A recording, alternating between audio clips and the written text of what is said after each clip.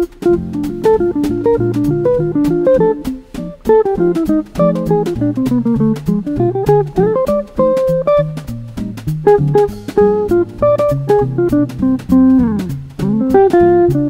to day two of Charlie Christian Blues. We're going to talk about the second chorus of Grand Slam. So it's a blues in F. He starts super syncopated. It's like one, two, three, four, one, one.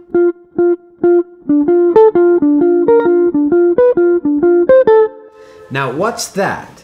I'm thinking about this as a D minor over the F. And then it's sort of a line cliche, just a chromatic note on top moving. Kind of like a James Bond thing, right? But over the F.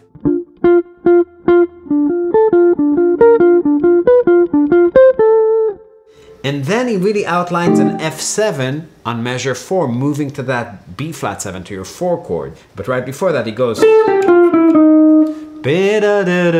So he's using a passing tone between the root and flatted 7, which really helps the ear to transition. Now, it goes to the B flat and he plays this arpeggio of a D minor 7 flat 5.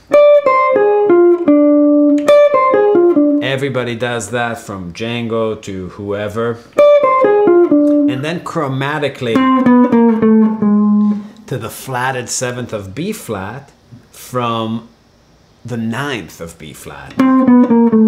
So it's a pretty nice sound. And then from here, he's just playing an arpeggio of a B flat 7, going flat seven, third, fifth, sixth, flat 7. So super nice sound. Check out this line. It goes.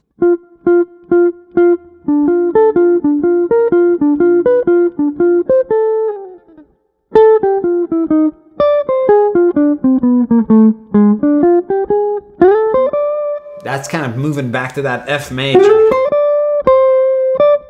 Then to get to the five chord, he's sort of leaning into that sharp nine of the one chord that becomes the flat six of the five chord. So he's going one, two, ah, ah.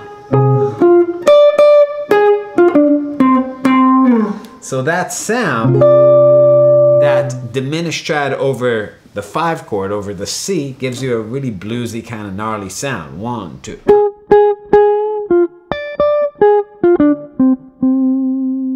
Then the way he ends the solo is just by outlining the one chord. That's it. So let's do that whole chorus slow. A one, two, three, four, one.